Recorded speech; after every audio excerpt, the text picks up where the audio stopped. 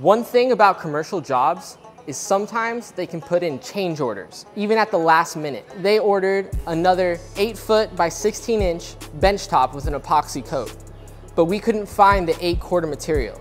So what we're gonna do here is we're gonna glue up this 4 quarter material to make 8 quarter, and then we're gonna make the bench top.